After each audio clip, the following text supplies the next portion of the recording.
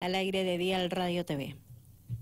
Hola Laura, ¿cómo estás? Buenas tardes para vos y para toda la audiencia. Muchas gracias de nuevo por la invitación. Por favor, agradecidos nosotros por gentilmente atender a nuestro llamado. Sabemos que estás trabajando a full y bueno, nos dedicas unos minutitos para compartir eh, precisamente la info que mencionaba anteriormente que tiene que ver, primero que nada vamos a comenzar por el buen trabajo que realizó la quinta división de Maristas este pasado fin de semana al vencer por 2 a 0 a Andino y de esa forma, ¿verdad?, a clasificar, pasar.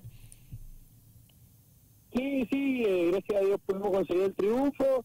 Eh, por ahí es como decía, entre los cuatro mejores eh, estamos clasificamos tercero, pero bueno, el, el, reglamento sufrió sufrió una modificación y como bueno, no pudimos clasificar con la primera entre los ocho mejores, mm. ahora tenemos que jugar el torneo simultáneo también de quinta, sexta, séptima e intermedia que juega la primera división.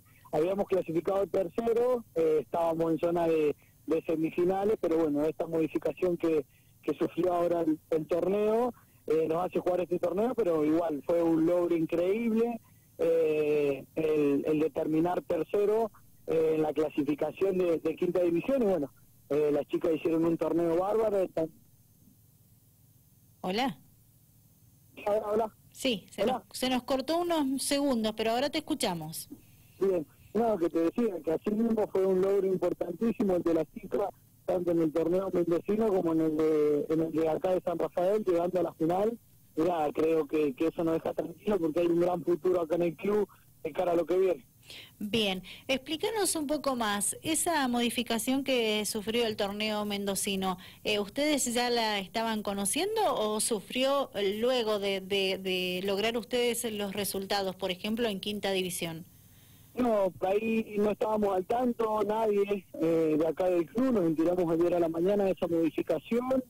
Eh, pensábamos que era con el formato de los torneos anteriores, pero bueno, se cambió y nada, tenemos que adaptar a esto que viene. Ahora viene un torneo nuevo para todas las divisiones, así que nada, preparados para, para trabajar de cara a los, a los desafíos que tengamos y afrontarlo de la mejor manera en todas las divisiones.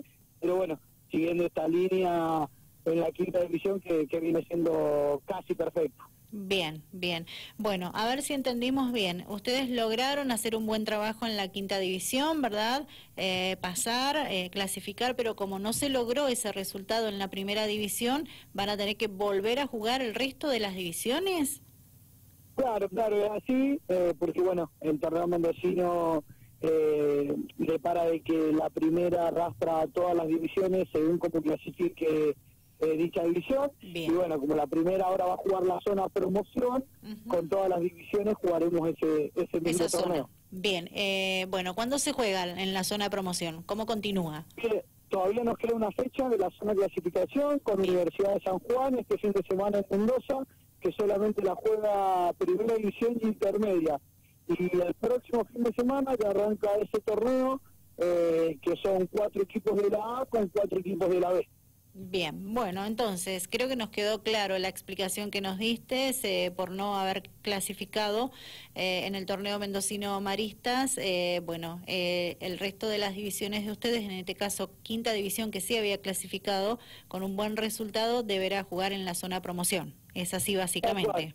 Tal cual, tal cual, tal cual, así es. Bien, bueno, entonces, ¿cómo se prepara el equipo para lo que viene, Ignacio? No, ya en todas las divisiones creo que eh, nos preparamos de la mejor manera, por ahí no nos acompañaron los resultados en la primera edición, ahora eh, con este nuevo formato de torneo que es con arrastre de puntos, quedamos bien posicionados para jugar eh, contra los cuatro equipos de la B. con un buen puntaje, arrancaríamos el torneo con ocho puntos, que son los partidos que hemos jugado los equipos de la A, que clasifican a la promoción también. Así que nada, tranquilo, trabajando, sabemos que es un desafío más que importante, el objetivo primordial de mantener al club en la A, que es donde tiene que estar y donde se merece estar. Perfecto. Entonces, ¿el próximo encuentro para la primera cuándo es? Este día sábado, por la última fecha de la clasificación, sí. eh, contra Universidad de San Juan, y el, próximo fin de semana que arrancaríamos la zona de promoción junto a los equipos que clasifiquen de la B. Perfecto, bien. Marista, ¿cuántos equipos tienen el torneo mendocino aparte de primera y de quinta división? Estamos, tenemos las ramas completas, sexta e intermedio. Perfecto, sí, está eh, los equipos completos están formando parte del torneo mendocino. Qué bueno, genial.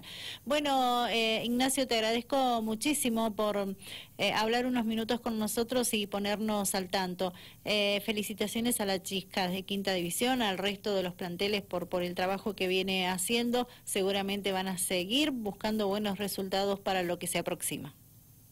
Bueno, este, el objetivo primordial, trabajar con humildad eh, aunque no sean las cosas, seguir intentándolo permanentemente y bueno, como te decía, dejar el club lo más alto posible en todas las divisiones. Que tengas buenas tardes, gracias por estar como siempre presente para conversar con nosotros. Bueno, muchas gracias Laura, un saludo grande para vos y toda la audiencia. Ignacio Poblete, con él estábamos charlando en Dial Deportivo, director del equipo Maristas, y bueno, nos estuvo contando un poco lo, que pasó con Quinta División. Eh, bueno, eh, una modificación que ha surgido el torneo mendocino, el cual ellos no estaban al tanto de lo mencionado, y bueno, expresó cómo, cómo se continúa con, con todas las divisiones que están participando del equipo san rafaelino en el torneo mendocino.